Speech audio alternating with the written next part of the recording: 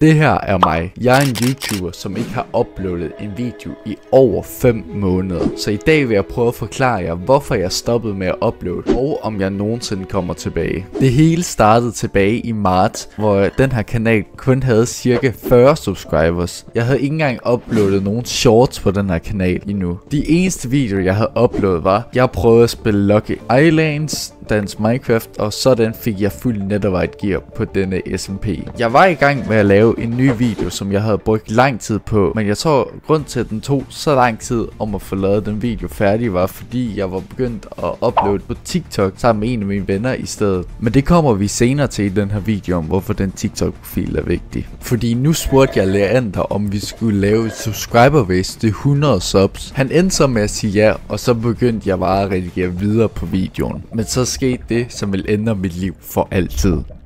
Okay, måske overdriver jeg det en lille smule, men, øh, men jeg havde lige fået fri fra skolen og var gået i 365 discount med en af mine venner, hvor jeg så endte med at miste mit kort, efter jeg havde købt et eller andet. Øh, og ja, jeg ved stadigvæk ikke, hvor det kort er til den dag i dag. Men nu skulle jeg ud og svømme med min far, og på vej ud tjekker jeg min telefon, og så ser jeg, at jeg har fået en besked fra Leander på Discord. Han havde simpelthen lavet en short om, at Leander og jeg havde lavet et subscriber race, så han endte med at få over 1000 visninger eller sådan noget, som så gjorde så, at han vandt det subscriber rate. Og øh, nu sad han med 153 subscriber, hvor jeg stadigvæk kun havde 42. Og så begyndte jeg på min short grind. Den første short jeg lavede fik faktisk kun cirka 2000 visninger, men jeg fik stadigvæk cirka 60 subscribers for den, så jeg ramte 100 subscribers den dag. Og det var rimelig stort for mig, så Leander og jeg lavede et nyt mål om hvem der først kunne ramme 1000 subscribers. Det var et tæt løb, hvor vi cirka havde lige mange subs, men cirka en halv måned senere stod vi lidt mere upload.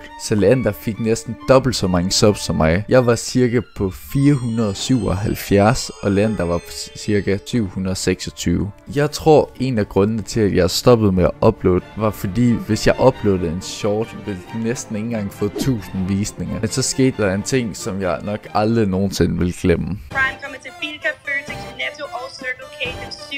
juni. Jeg så min chance, og jeg tog den. Første video jeg uploadede om Prime slog min gamle rekord på visninger på under en dag. Og jo flere videoer jeg lavede om det, hvor flere visninger fik jeg. Og på under 20 dage havde jeg fået over 1800 subscribers. Så jeg endte med at ramme de 1000 subscribers før Leander gjorde. Og subscribertallet blev bare ved med at gå op. Og jeg uploadede også min første lange video efter 4 måneder, som endda klarede sig rimelig godt. Endda mine livestreams fik over 1000 visninger. Og selv de gamle videoer, som næsten ingen visninger fik, sprang også i luften, og nogle af dem fik over 50.000, hvis det ikke over 100.000 visninger på samme tid. Men så skete det, jeg aldrig ville tro ville ske. Det der med at lave YouTube Shorts var ikke bare solskin og regnbuer, men det var faktisk det rene helvede. Fordi hvis man ville lave shorts, er det næsten umuligt i Danmark at tjene penge på det. Man skal have 10 millioner visninger på under 90 dage, for at kunne tjene penge på YouTube Shorts. Og selv da jeg fik flest visninger, kom jeg ikke engang tæt på at kunne tjene penge. Så jeg fandt ud af, hvis man lavede shorts, var det mest bare for at kunne starte en kanal, hvis det giver mening. Og så fandt jeg også ud af, at hvis jeg ikke gjorde så shorten var over 55 sekunder lang, vil den ikke få særlig mange visninger, som hvis den var cirka de 55 sekunder. Så det tog bare længere og længere tid at lave en short, fordi jeg vil selvfølgelig gøre hver short bedre end den sidste. Så til sidst, så til sidst endte jeg med at sætte en alarm tidligere om morgenen søndagen, så jeg kunne følge mit schema, jeg lavede aften før, så jeg kunne nå at uploade en short til klokken 2. Og til sidst blev det så bare